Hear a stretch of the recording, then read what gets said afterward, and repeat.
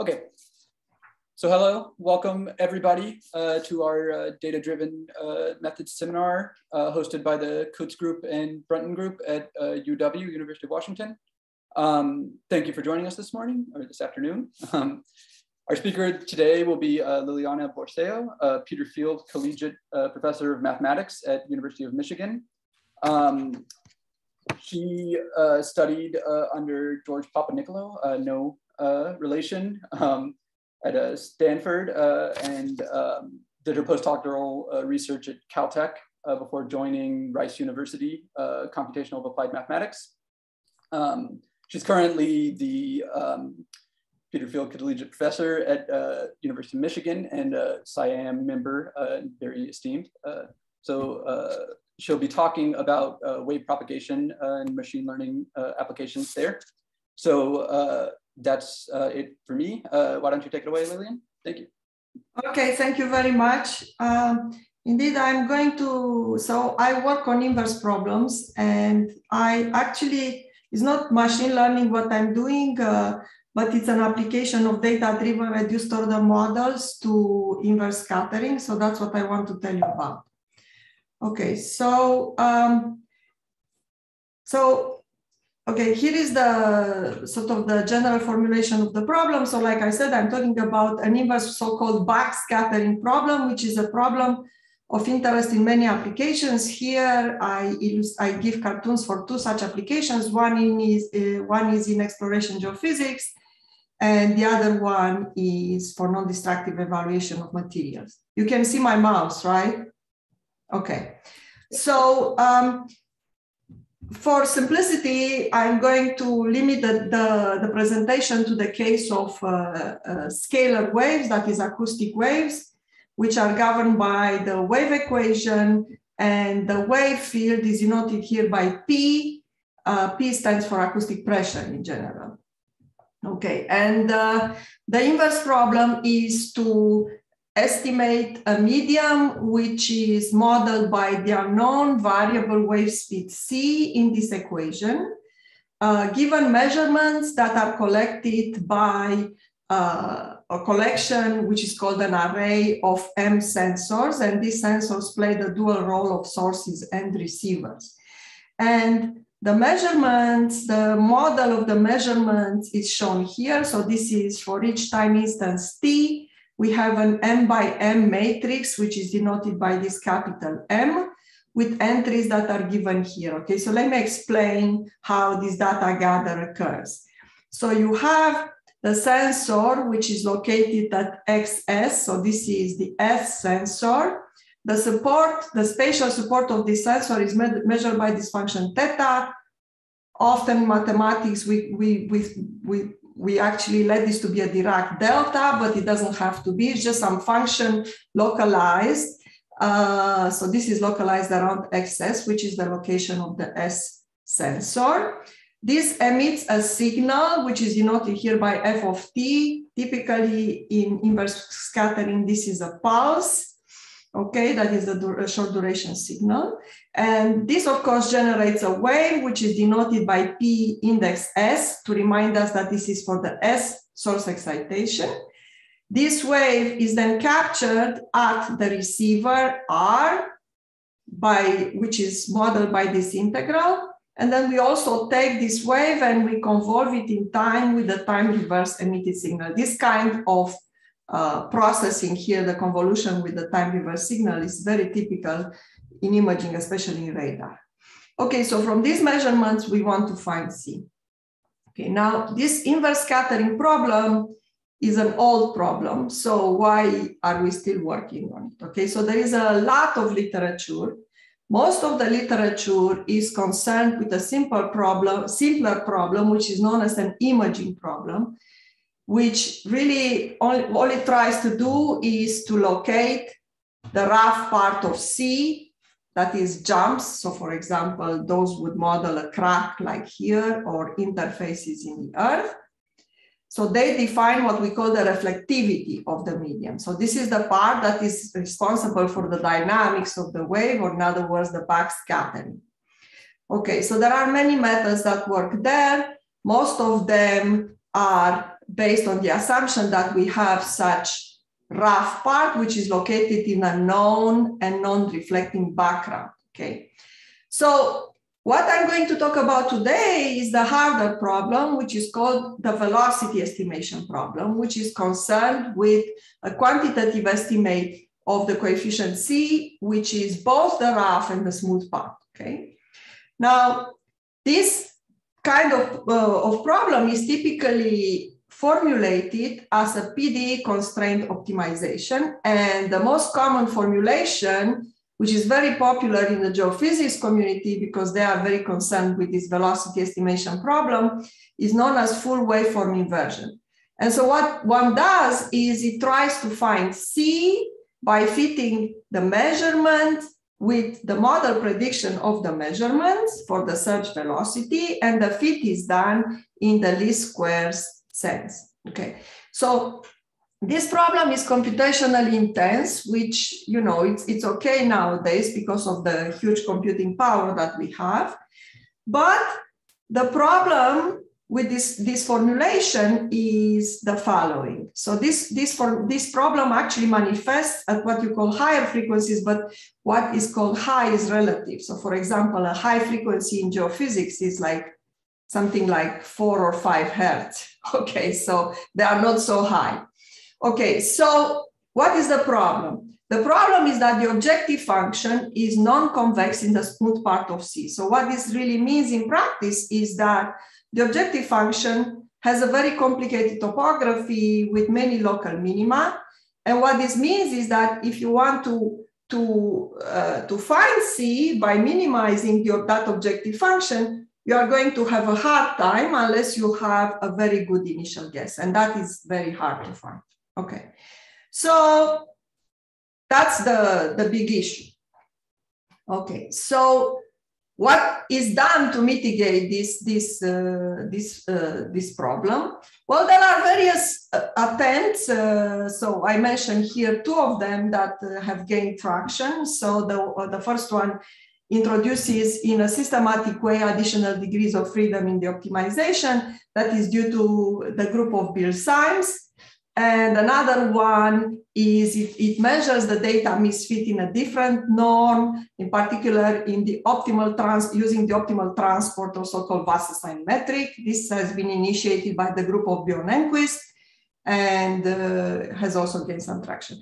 But all of this is still ongoing. Okay, so nothing is really fully solved. Okay, so we propose a different approach, which uses what we call a data-driven learning of the wave operator. Now, by uh, so learning is a little what we mean by learning is a bit different than what is called in uh, the machine learning community. Uh, so what we are trying to do is from the measurements that are made at the sensors, we want to calculate a nonlinear mapping that gives us a reduced order model. I will call it henceforth ROM of the wave operator. Okay, so this is some sort of approximation of the wave operator and it's given it, it, it's, it's a matrix with special structure that captures the causal wave propagation so this is what we want to do and at this point i want to mention two important things about this uh, this construction the first one is that even sorry even though the construction involves a nonlinear mapping we can construct, we can compute it with efficient numerical linear algebra tools in a non-iterative fashion, okay? And that can be done quite efficiently. And so, you know, that's of course important for inversion. And second of all is that we can obtain, we think, a better formulation for the velocity estimation problem where instead of fitting data in whatever norm, we are going to fit the reduced order model. Okay, so now here's the outline of what I want to tell you about. So I will begin with the construction of the reduced order model. And in fact, I will talk about two reduced order models that capture the wave propagation in complementary ways. Okay, the first one is the reduced order model for an operator which is called the wave propagator operator, which maps the wave field from one instant to the next for a uniform in time discretization of the time axis. Okay, so this reduced order model, we started working on this and applications of this reduced order model in around 2018. So that's when the first paper came out. So this is in collaboration with Vladimir Druskin, Alexey Mamonov, Mike Zaslavsky, and Jörn Zimmerling. And now there is a new reduced order model that we developed this year in collaboration with Josselin Garnier, with Alexey Mamonov and Jörn Zimmerling. And this turns out to be extremely important for the velocity estimation that I talk about today. In fact, if we had no noise to deal with, we would only need a second reduced order model, but you will see that we will need the first reduced order model to deal with noise.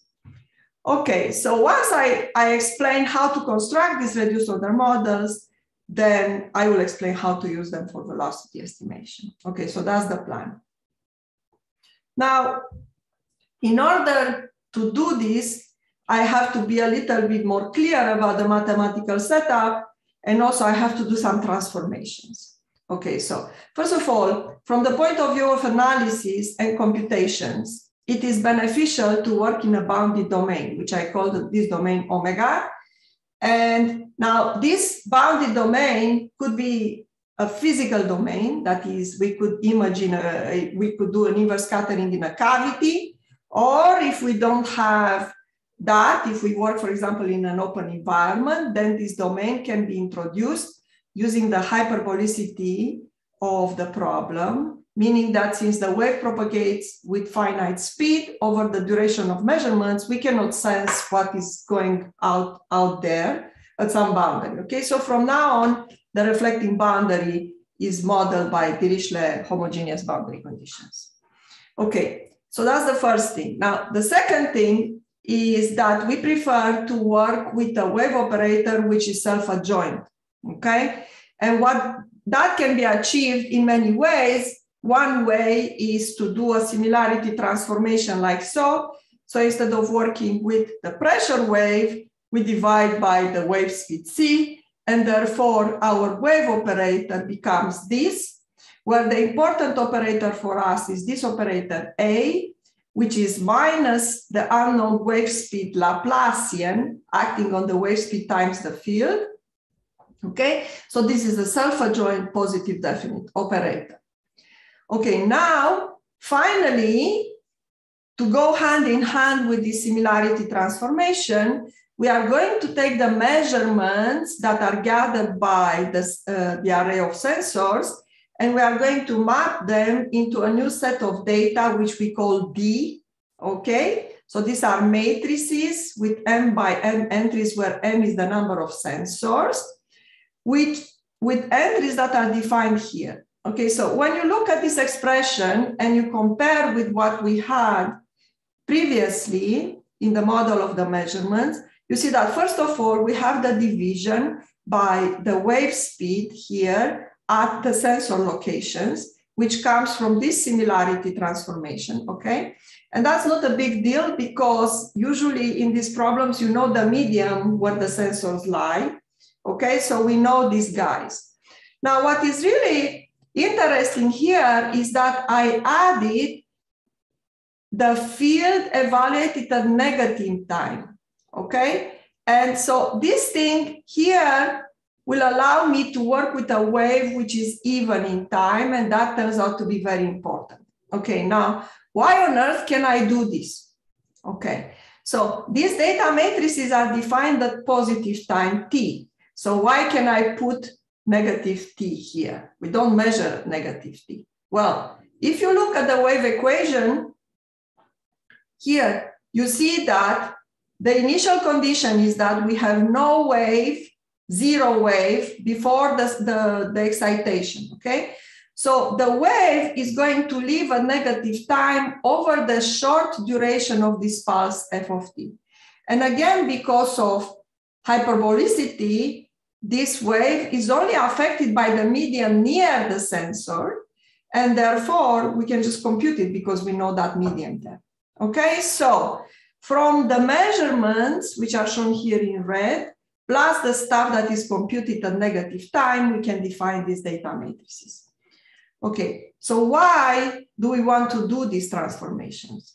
So now I will explain why. So we basically want to put ourselves in a, in a good framework where we can do the reduced order model construction. So that's the purpose. So first of all, using the fact that we deal with a self-adjoint positive operator A, which we obtained here via the similarity transformation, we know that this operator has a very nice spectral theorem associated with it. So it has uh, positive eigenvalues and the eigenfunctions form an orthonormal basis. Okay. And expanding the solution of the wave equation in this basis, we obtain this expression for this even wave. Okay, so this is just a calculation. The expression looks very, very weird because here is the Fourier uh, the, the Fourier transform of the emitted signal, okay? And here what I have is I have functions of the operator, which are defined as usual using the spectral decomposition. So for example, this operator, cosine, is an operator with eigenvalues which are given by cosine of t with eigenvalues which are, uh, are given by the cosine of t square root of the eigenvalues of A and the eigenfunctions are the same as the eigenfunctions of A.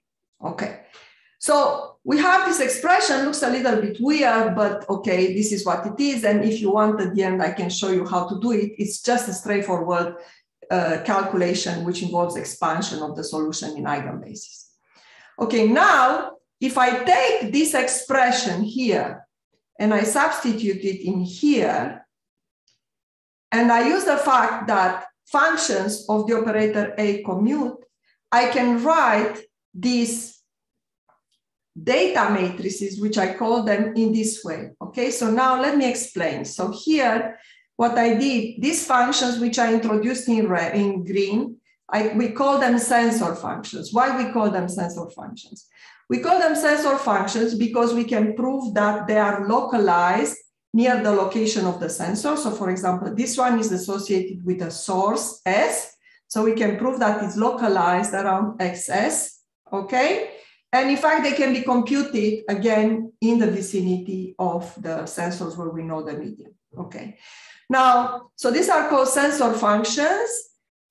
The Time dependence is contained in this operator, which is the cosine of t square root of a. This is a beautiful operator for us because you will see that it will allow us to do an explicit, exact time stepping of the wave. Okay. And so that's, you know, that's the reason why we do these transformations. And the other thing to notice is that we have a very nice inner product, symmetric inner product expression of these data matrices. Okay. So now what I'm going to do is because I don't like to use all these indices for the receiver, for the sensors and so on. What I'm going to do is I'm going to work with block algebra. Okay, so I'm going to take all the sensor functions corresponding to source one, source two, up to source m, and I define this, what I call the sensor vector. So this is a row vector field with m components, okay? And then using the expression that I had on the previous slide, I can define for each time t the data matrices. I can write them this way. Okay. So I just want to emphasize, okay, because I get always questions like this. So I don't change the problem. Okay. So this d of t is computed from the measurements. Okay. So all I'm doing is I'm just manipulating mathematically how this D looks like. So it, it can help me, it can guide me in constructing the reduced order model. Okay, that's all I'm doing. Okay, this guy is measured plus computed here. Okay, so these data matrices can be written like this. So I can think of, and what I'm doing here, I'm introducing this wave u of t of x, which is given here, which this wave is, again, it's written in block algebra. So this is a, a row vector wave, which satisfies the homogeneous wave equation with initial state u naught, okay, which is determined, which corresponds to the sensor functions. And because this is a because this is a even time wave, okay, that's the cosine, I have the zero initial condition for the derivative. Okay, so this is the wave that I'm going to talk about today. And what we measure can be mapped to these matrices that are given by this U naught transpose, uh, I mean, by U naught, essentially inner product with this wave U. Okay. So now to construct the reduced order model, I would like to first write the wave propagation as a discrete time dynamical system.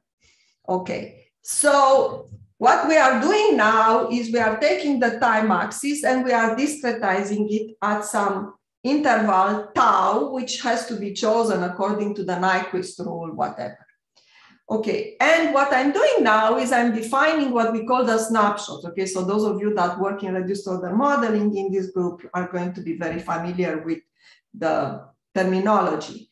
So uj is, is the wave u evaluated at the jth time instant. And according to the formula for u, this is given by the cosine j tau, which is the discrete sample uh, time sample square root of a acting on the initial state, which is the sensor functions. Okay, now using the trigonometric identity of the cosine, which is cosine of j plus 1 plus cosine of j minus 1 is equal to 2 times cosine, blah, blah. So that's the trigonometric identity. We can write an exact time stepping scheme for these snapshots, okay, which is shown here where this P is an operator which we call the propagator operator, which is given by the cosine of tau square root of A. Okay, so what this propagator operator does is it takes the wave, the snapshot at instant j minus y, j minus 1, and the snapshot at time at in the uh, instant j, and maps it to the next instant snapshot. Okay, so everything, all the information about the medium is in this operator. And now what I want to show you is that we can construct a reduced order model of this operator from these data matrices that we evaluate at 2n time instants. Okay, so that's my job, the next job. Okay, now how we construct this reduced order model. So the reduced order model is what is known as a Galerkin projection reduced order model.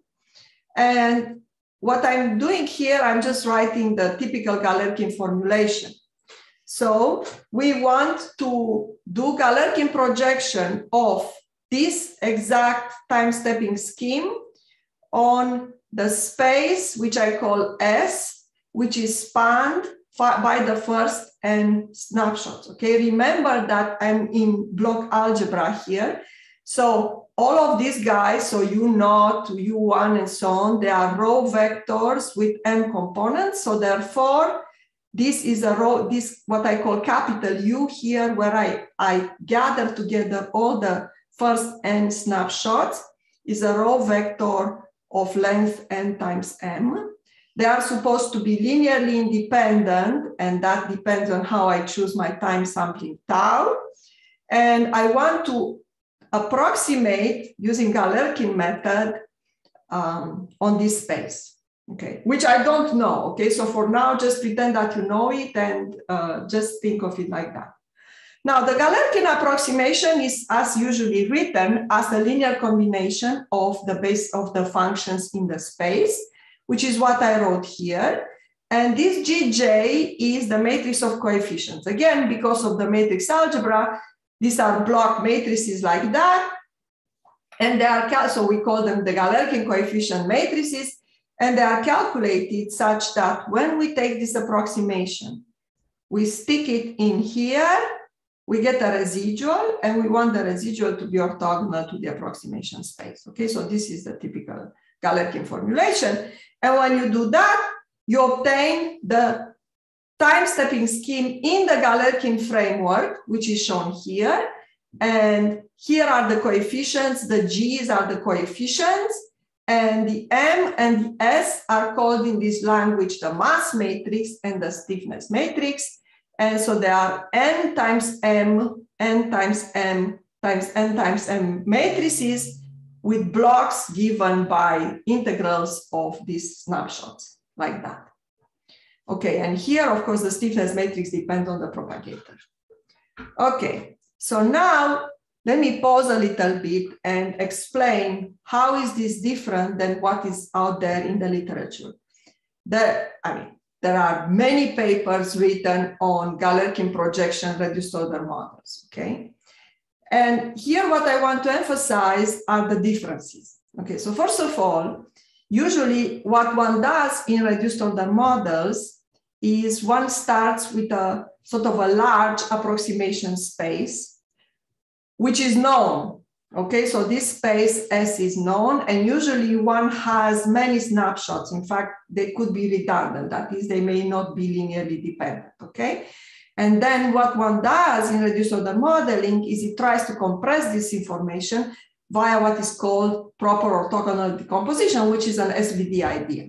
Okay, now here what we do is, first of all, we are not interested in compressing information. Okay, so our snapshots are supposed to be linearly independent, which, which requires proper sampling in time. And what is really important is that we don't know the snapshots. We do not know this space. Okay, we do not know this. What we know are the data matrices D. That's all we know, sampled at the first two n time samples. So we only know these guys. Okay, we don't know the space. Okay, so that is the big difference. So we only know these data matrices, and from them, we want to find the reduced order model. So that's one big difference. The second big difference is that because of our transformations and the fact that we brought the problem to this cosine of the operator, we have an exact time stepping scheme. What one usually does when one constructs reduced order models for wave equations, one usually does finite difference approximations of the second derivative in time, okay? We don't do that. We have an exact time stepping scheme. And because of that, and because of the definition of the approximation space, what that really means is that if you look at the Galerkin approximation for the first n time instance, this approximation is exact, okay? Because the time stepping scheme is exact, the residual is zero, okay? So we have an exact approximation for the first time, uh, time uh, steps, meaning in particular that the Galerkin coefficients are just blocks, block columns of the identity matrix. Okay, so the first Galerkin coefficient. So they are trivial. Okay, and you will see that this also results in the reduced order model having, uh, which I has, still have to define, having very good approximation properties. Okay, so now the question is how on earth can we construct a reduced order model when we, as a Galerkin projection, if we don't know the space? We only know this. So the key here is this equation. So remember that by construction, we already know that the first Galerkin coefficients are trivial. They are just block columns of the identity matrix.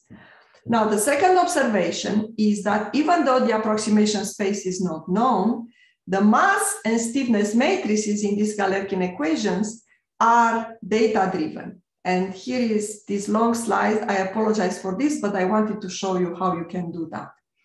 Okay, so starting with the definition of the mass matrix. So here what I did is I just wrote the ij block of the mass matrix. So this is the definition, integral of the ith snapshot transpose acting on uj. Okay, so this is an m by m block.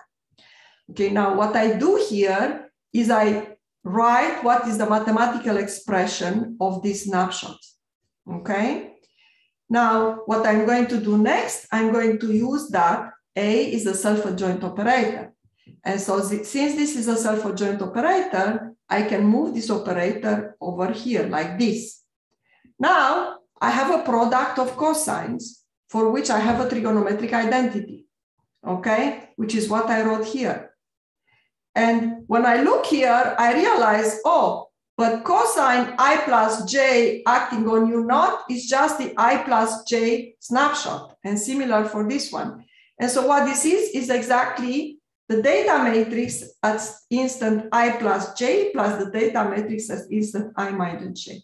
Okay, so even though we don't know these snapshots, we can construct this mass matrix and similarly the stiffness matrix. Okay, from the data. So we don't we, we don't know the approximation space, but all of a sudden we can do everything in terms of the time stepping in the Galerkin space. Okay, now what we want to do is to compute the reduced order model. What the reduced order model is, so it's the reduced order model of the, of the propagator operator, this operator. The reduced order model is defined as a projection of this operator onto the Galerkin space. To do a projection, I would like to use an orthonormal basis. That's the best way to do projections. Now, there are many ways to compute an orthonormal basis if you know the approximation space, which I don't, okay? So for now, pretend that we know the approximation space, which is defined by the span of the entries in this U, okay? And let's try to construct an orthonormal basis by using a Gram-Schmidt orthogonalization procedure. Now, from the point of view of wave propagation, the Gram-Schmidt orthogonalization is very nice because the orthonormal basis, which is stored in this vector function V, okay, so the components of this are the orthonormal functions which define the orthonormal basis. Because of Gram-Schmidt, this is causal. So in other words, if I look at the J's block column of V, because we work in block algebra, this is in the span of the first snapshots like that, okay? And that is reflected by the fact that this matrix R is block upper triangle. Okay, so I'm defining the orthonormal basis using Gram-Schmidt. Okay, but now, wait a minute. I don't know U, and therefore I don't know the orthonormal basis V. But the point here is that in this equation, I know R. So R is data driven. Why is it data driven? Well, here, I just showed you that the mass matrix can be computed from the data. Here is the definition of the mass matrix. Okay, now what I'm doing, I'm putting the Gram-Schmidt orthogonalization here in U. And here is what I get. Now, because the V is an orthonormal basis, this is just the identity matrix. And I got that the mass matrix is R transpose R. So R is nothing else but the Cholesky square root of M. Okay, so U is not known, V is not known, but R can be computed from the data. Okay, so here comes the reduced order model of the propagator operator. So it is the projection of the true operator, the true propagator using the orthonormal basis. So here it is. So it's an n, n times m uh, times n times n uh, matrix, which is defined like this. Now, again, what I'm doing is I'm using the Gram-Schmidt scheme. So I'm writing V in terms of U and R, and I obtain this expression. And everything that is written in, uh, in red is data driven. So R is computed from the data, S is the stiffness matrix that can be computed from the data, as I showed you.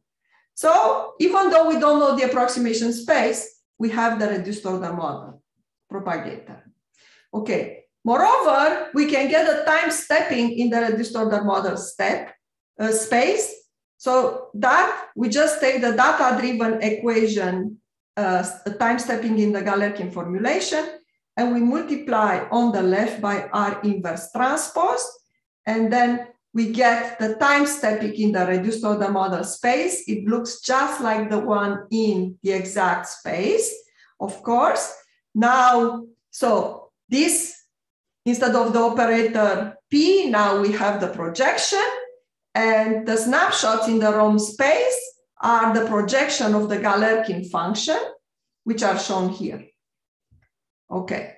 And note again, because of the construction that we have, uh, because we have a, uh, exact time stepping and so on, I remind you that the first Galerkin coefficients are trivial. They are just block columns of the identity matrix. So you can see that the first ROM snapshots are just block columns of this R. Okay, so let me tell you a few properties of the reduced order model. So first of all, the reduced order model has very good approximation properties, unusually good for Galerkin projection type reduced order models. And that's again because of the exact time stepping scheme and the construction that we have. In particular, we have exact data match. Okay, so this is, uh, I can show you at the end how you can prove that this is actually a non-trivial thing, but uh, it holds for our reduced order model. Moreover, what is important for this talk is that there is causality built in this, into this construction and causality comes in, first of all, because of the time stepping and also because of the causal construction of the orthonormal basis using Gram-Schmidt. And that reflects in the fact that the ROM matrix P-ROM has a block tridiagonal structure, okay? That's again, we can prove that. I don't include a proof. What I mean by this, that it's causal. Well, so remember, as I just said, that the first ROM snapshots are just block columns of this block upper triangular matrix R, which is the Cholesky factor of the mass matrix. So here is the first snapshot. Here is how it looks like. So it's a, it's a matrix with m columns and n times m rows.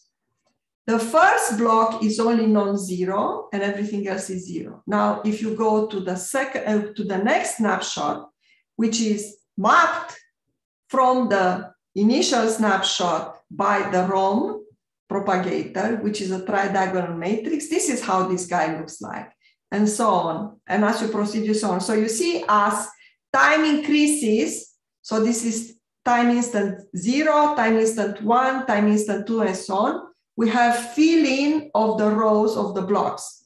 What this capture is the algebraic way of capturing the propagation of the wavefront away from the sensors. Initially, the wave is at the sensors, okay? So only this guy is non-zero. At the next time step, the wavefront moves inside the medium and that's captured by this block filling and so on. Okay, so this is what we call cause. Now, moving on to the next reduced order model. So what we want is to use the reduced order model to extract from it the unknown wave speed. So it is not so easy to, to extract C out of this reduced order model because the dependence of this reduced order model on C is really complicated. Okay, so A is this operator which depends on C in a simple way. But then we take the square root of A, then we take the cosine, then we project. Okay, so this is a very complicated thing. It would be much better if we had this kind of reduced order model where we could project A directly. So this would be an approximation of this operator. And hopefully, if the space is good enough, this guy will behave closely to what this guy does. So the simple dependence on C should be inherited by this A-ROM. The problem is how do you construct this A-ROM? So we have P-ROM. I showed you how we can get it. It's a very nice reduced order model with excellent approximation properties.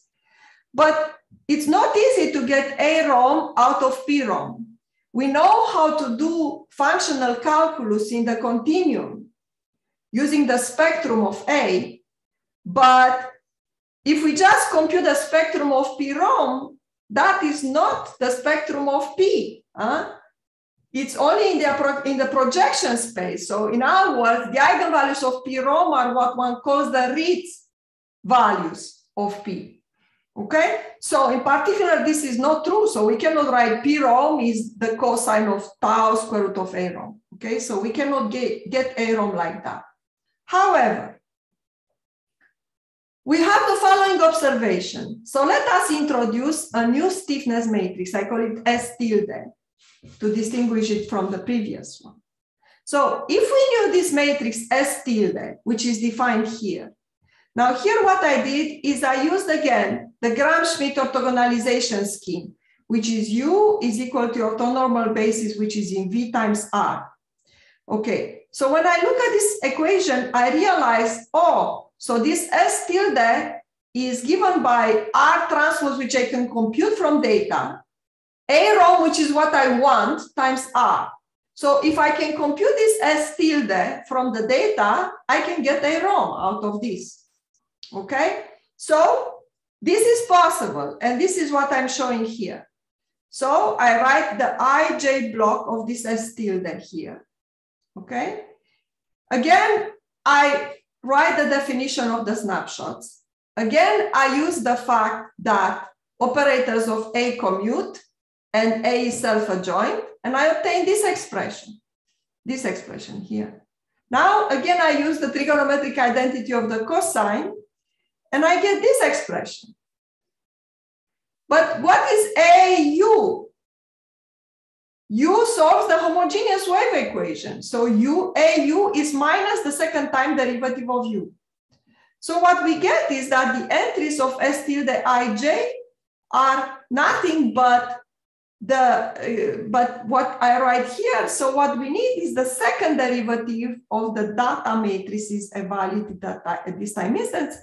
And this can be calculated, for example, via Fourier transform, via filter Fourier transform. That's what we are doing in our simulations. Okay, so that is how we can construct the ROM operator. And now, what properties does this ROM operator have? So the ROM operator, uh, a ROM is, has actually much, it's not as good at approximating the wave, the waves in approximating the wave snapshots as the, uh, as the propagator. Okay, it approximates them, but it, it's, it doesn't, for example, it doesn't give exact data fit. Okay, nevertheless, it's better for, for uh, velocity estimation. Now, what about algebraic structure of a ROM? So while this ROM propagator is a matrix which is block tridiagonal for a ROM. We don't have a special structure. It is a full matrix. It is a matrix for which we can prove that the, the entries decay away from the main, main diagonal, but it is a full matrix. So what that really means is that if you think of this ROM as sort of like a, some sort of a special discretization of your wave equation, you see that you have a very complicated scheme because this is a full matrix. Right? It's not a simple stencil like a two point, a three, uh, like a you know five point stencil or something like that. It's a complicated stencil. Okay. Now, what is really important for us is because the basis in V is causal, we can prove that if we don't take all the data matrices, so if we work with the first, with a subset of the data, okay, then this determine the upper left block of this operator. And this is very beneficial for, for inversion because what this means is that we can take the data, the big data that we have, and then we can take a portion of it, just, you know, window it, and then use the reduced order, the, this block of the reduced order model to invert for the medium near the sensors, Okay, when we are happy with what we did, then we can put more data in and proceed like this in the layer peeling fashion. Okay, so the inversion that we propose is for a data set like this, if I want to use all the data, I make k is equal to n. If I want to use only a subset of the data, I have k less than n. We propose to find the wave speed by doing this minimization where this guy here is data driven, computed as I showed you. And this one is computed for the search velocity V by solving the forward problem, generating the data matrices for this V, and then computing the ROM. Okay, so now it's time to show you some results. So the first thing I want to illustrate why using this reduced order model could be beneficial. So what I'm doing here is I want to, to show you how the objective function looks like for the conventional waveform inversion method, which is minimize the data fit in least square sense, or the uh, our approach where we minimize the, the reduced order model fit. Okay, so because we want to visualize the objective function, we are in a two parameter search space. So here is the true medium. So it consists of two values of the velocity. We have a fast medium shown here in red, which has wave speed three uh, kilometers per second, and a slower medium which has half the wave speed above and we have this interface here. And in order to plot the objective function, I need I can only have two parameters because I can only plot in two dimensions. And so what I'm doing here is I'm going to keep the inclination of this uh, of this interface fixed, and I'm going to move the interface up and down. So that is one uh, one uh, parameter, and the other parameter is the contrast between the wave speed here and here, okay? And this is the objective function for the conventional approach, and this is the objective function for our approach. And as you can see, so this is very well known, the objective function here, it's, you know, it's pretty rough, has lots of local minima, whereas here the objective function is smooth, and uh, and uh, you see we, you know, it looks convex, okay? So by the way, here, we actually don't have in the search space the exact location, which is why you don't see um, a minimum at the true location, okay? So you see that, you know, the objective function changes quite quickly here. Okay, so this is the first idea. Now, I want to show you the first inversion. So this is a, this is a, a problem uh, this is a challenge problem that is very well known in geophysics. It's called the Camembert example. And it was cooked up. Why, why is it called the Camembert example? Because as you can see, it was cooked up by French people. And second of all, it's as you will see, uh, the, the, the behavior of the, uh, the traditional waveform inversion, that is the data fit uh, in least square sense, basically what it can do, it can only find this top interface and then it sort of gives you like a melt away from here. So it melts like a camembert cheese. Okay, so here is a, we did an honor search. So we, this is the search space, which is parameterized by some functions. Phi, we actually choose Gaussians because we like to use with a sort of a smooth velocity field. Uh, actually, we are over parameterizing here, so the standard deviation is, is small, okay? Um, and uh, therefore we introduce some regularization here. This is Tikhonov regularization with properly chosen Tikhonov parameter. And I'm going to show you the results um, for both approaches, so our approach and the traditional method. And to do the inversion, we proceed in six layers. So we feed data in six layers. And so you will see how we, we get. Okay, so we have 10 iterations for, uh, for each layer. So I show you the layer 10, 20, 40, and 60. And you can see that, so our approach is on the top. You can see that, you know, as we add more data, the, the thing improves and we can recover the camembert pretty well. This is the traditional approach. So you see the, the melting camembert. Okay, so why is doing is this doing? Uh, why is this? Because the optimization got stuck in a local minimum. Okay, and so that's that. Now, what about noise? So what regularization do we have? Right now, we only have regularization here, but this regularization only takes into account the fact that, you know, we over parameterize the search velocity. But what about, but we need to take care in the construction of a ROM, okay? So that has to be regularized. What is the problematic step in the ROM construction? So the stiffness matrix S is constructed from the data via linear operation. Okay, so you have small noise that just passes through, you know, like it's a linear operation, okay? The problem is this one, R inverse. So R is the block-Cholesky square root of the data-driven matrix M, and then we need the inverse of that. Okay, so that's the problem. Now, due to noise, M will not be symmetric. That's easy to fix. You just take M plus M transpose divided by two. What is worse is that it will not be positive definite. Okay, so then we need to regularize. Okay, so we regularize using standard eigenvalue decomposition. So this is the eigenvalue decomposition of the symmetric matrix M. And we know that the spectrum is stable for eigenvalues which are larger, larger than the noise level. So that's what we do. We keep the eigenfunctions that correspond to eigenvalues larger than the noise level. There is an intelligent way, uh, you know, to estimate what that is. Okay, so we keep them in this ZR and then we do a projection. So we have a, small a smaller matrix and then we say, okay, well, you know, take square root and let's go. It doesn't work, this. So I have to confess it took us a long time to figure out how to do this. Why it doesn't work? So the success of this reduced order modeling methodology that we developed is Causality. So the causal construction, the algebraic structure is very important.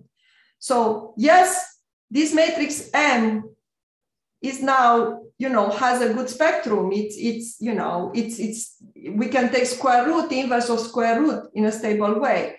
But we lost causality. We have to get causality back by doing a transformation of coordinates, okay, after regularization. How to do that? It's not clear if we just look at this arrow matrix because we don't know much about the structure of this matrix.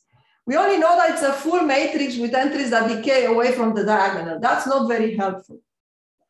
However, we know a lot about the structure of the reduced order model for the propagator. We know that causality is reflected in the fact that this matrix is block tridiagonal. And this matrix is constructed from the same mass matrix as a ROM. So once we regularize the mass matrix, we are affecting both this one and this one in the same way. So what we do is we construct PROM after regularization, and then we do a change of basis, excuse me, to bring PROM in, in, in a, a block tridiagonal form using a transformation which is known as the block Lanczos algorithm, okay? And once we do this transformation, we use that transformation on a ROM and everything works again.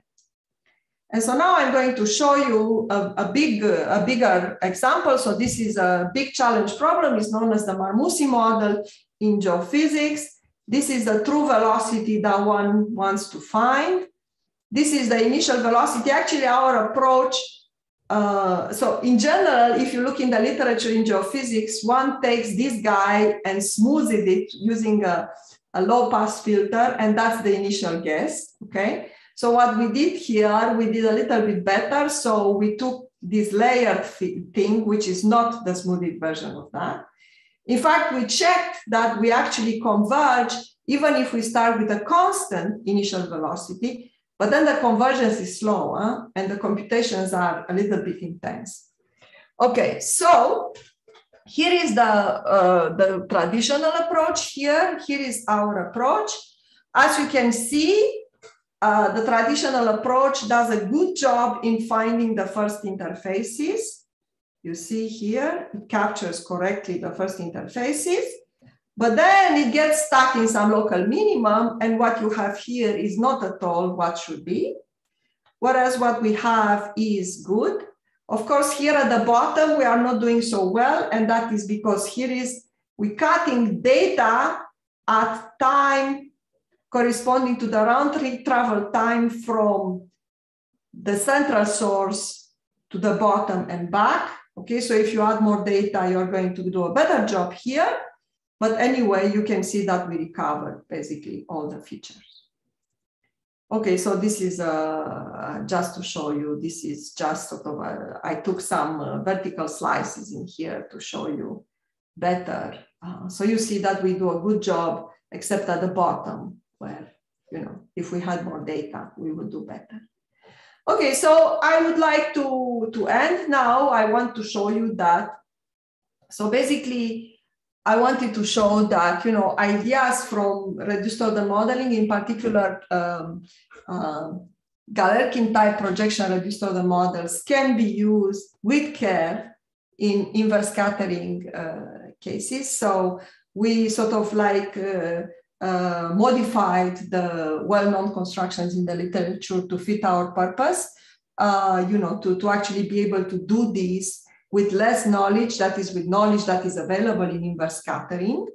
And uh, I showed you that, you know, this is very useful for solving inverse problems. So in fact, after this experiment uh, uh, experience, we, you know, are not so positive on inversion approaches that are based on data fit. So it looks like, you know, um, data are not so sensitive to changes in the medium. So it's much better to work with the reduced order model. You can think of it in a way as a nonlinear preconditioner type idea because we, we start with the data and we go to the reduced order model, you know, so uh, you, you can think of it like that if you want. And there are other ideas. So the reduced order model for the propagator can also be used for velocity estimation. It's not as good as what I showed you here, but it can be used, okay? And there are many, many things to, to do. Okay, so I think I should end here. Uh, thanks so much, uh, Lilian. That was, uh, Liliana, that was, that was a great talk. Um, so for questions, uh, we realized that our, our Zoom uh, is missing our chat box here. Uh, so if you have a question, uh, please just raise your hand and we will unmute you and you can ask your question. Um, so I guess I'll start off. Um, I'm curious in the case of damped and driven media. Uh, so for example, if you have your um, uh, damping, is that just equivalent to a complex wave speed in your model? And you know, for driven systems, when you don't have your excitations placed at localized points in space, but like you vibrate the whole system, I'm just curious if there's any any uh, any way to approach that from from your approach. Okay, so so those are great questions. Okay, so dumping is a problem. Uh, so uh, because if you put dumping, uh, so yeah, so so damping is a problem because um, essentially you don't get a self-adjoint operator in that case. Okay, so that doesn't work. And in fact, I think there is very little known about inverse wave scattering in general in attenuating media. Okay. Now, that being said, we have done ideas like this for heat equations.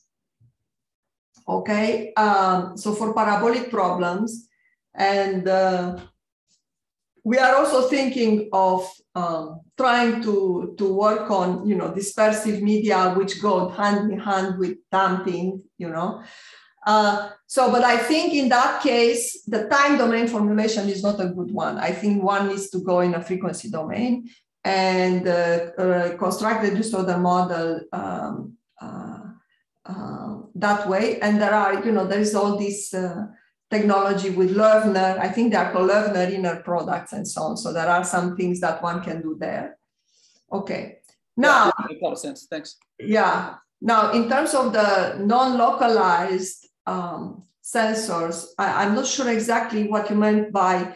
So the sensors. So in fact, here in, in the stuff that we did before, we really cared that the sensors are, you know, on one side of the medium. But for this particular project, the sensors can be anywhere.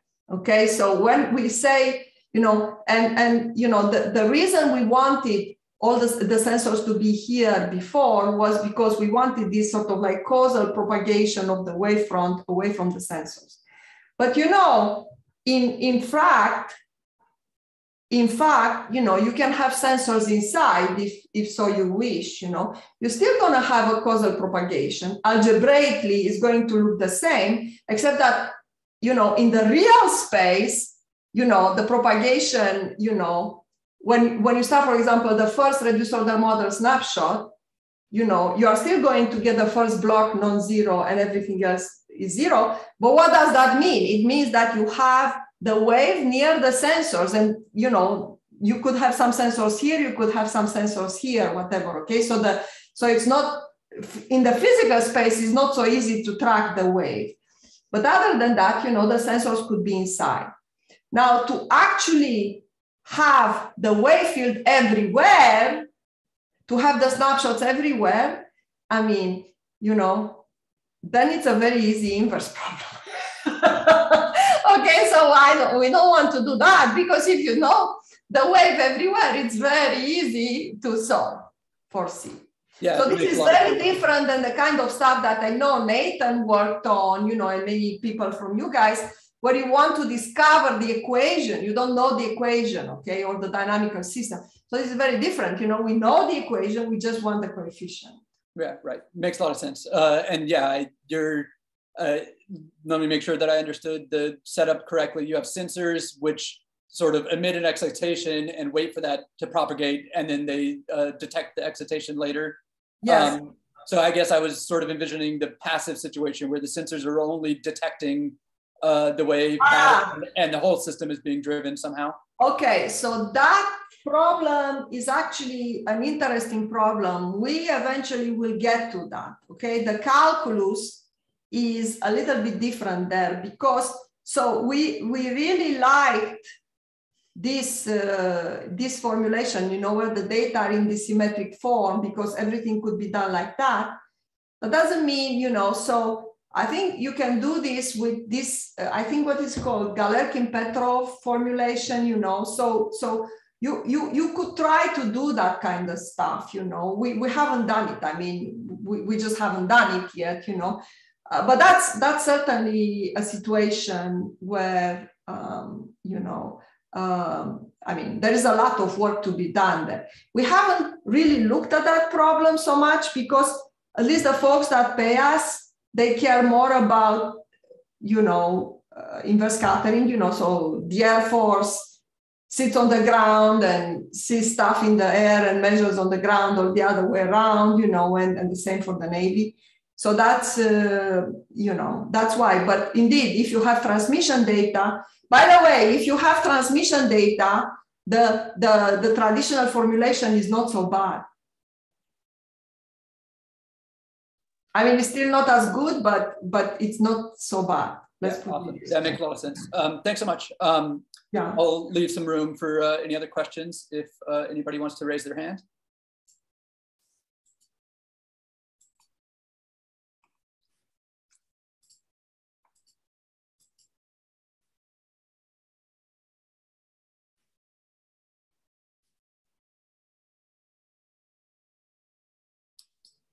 Okay, here we have a question. I'll uh, unmute.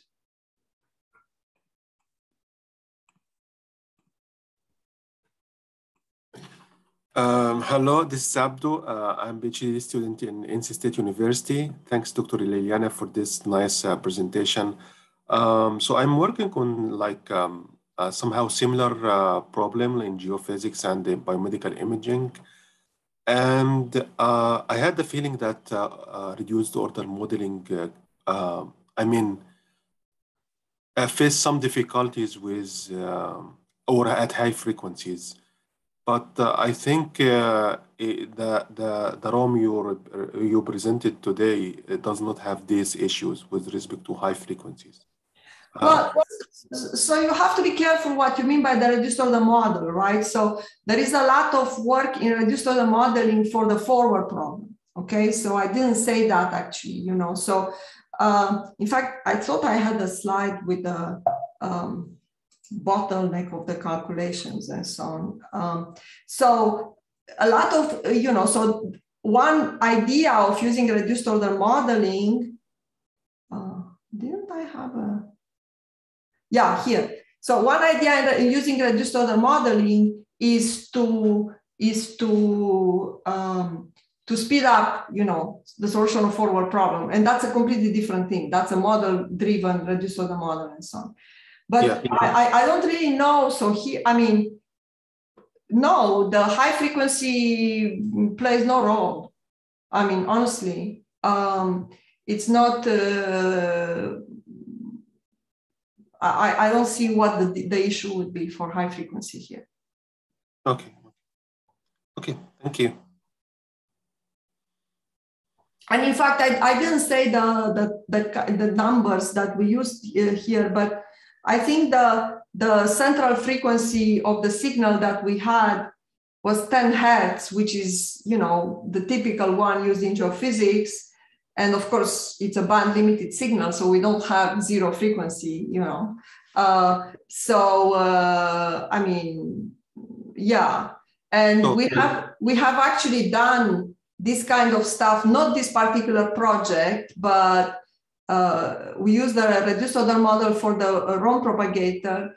Uh, um, and, and for that, we actually use high frequency, like high, like, like they use, you know, in radar, you know, like hundreds of kilohertz or, you know, stuff like that. So, and uh, there's no problem. I mean, yeah. So, uh, and uh, in terms of the computational cost per iteration, uh, so uh, I mean, comparing uh, the the method that you presented compared to the, for example, the standard the uh, full wave inversion. Yes. like, does it com- like does it save some time or? Okay, so here is so the computation of the reduced order model is extremely fast. If you once you have the data, it's very fast.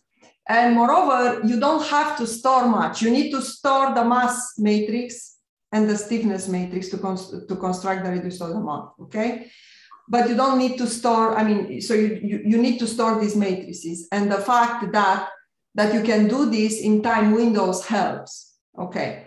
Now, of course, I know, you know, when I used to be in Rice University with my colleague Bill Symes, I mean, he manipulated you know, like gigabytes or terabytes of data. Okay, I'm not sure about that. Okay, so we we are folks that compute on laptops and so on. Okay, so that's that's what we did. Uh, so I can tell you from our point of view, the bottleneck of the computation is solving the forward problem, which is something that the forward wave inversion also, I mean, the yeah, the, the full waveform inversion also has to do. Everybody has to solve forward problem. Now, the, there is an advantage in the full waveform inversion uh, because the Jacobian can be calculated using the adjoint operator, you know. So here we haven't figured out yet how to use the adjoint. So what we are doing is we are computing the Jacobian using finite differences, which means that we have to solve a lot of forward problems. Okay, so that's the bottleneck for us. So, but that doesn't mean that one cannot compute the Jacobian, you know, in a more interesting way, in a, in a more clever way, but we haven't done it. Okay, because it's it's a little bit complicated, right? We have all these nonlinear mappings and we haven't figured out yet how to do that. Yeah. Okay. Thank okay. you. Thank you. Mm-hmm. All right, thanks so much. Um, give uh, maybe one more question if somebody has one. Uh, feel free to raise your hand.